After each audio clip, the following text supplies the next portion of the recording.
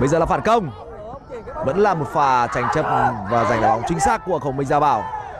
Cầu thủ thi đấu nổi bật nơi hàng thủ của Phú Đồng. Tạt bóng. Đây là cơ hội. Đây là cơ hội. Dứt điểm. Vào.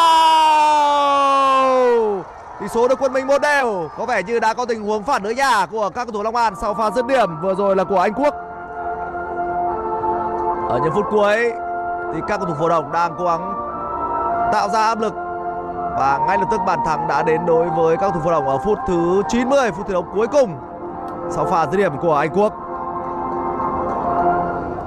cầu thủ số 88 Nguyễn Đức Anh Quốc ghi bàn cho câu lạc bộ Phú Đồng.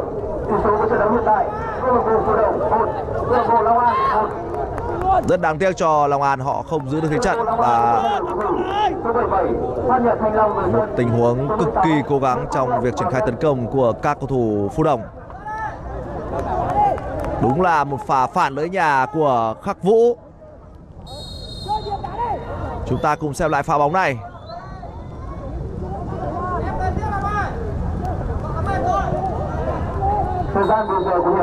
Đường truyền ra để cho Anh Quốc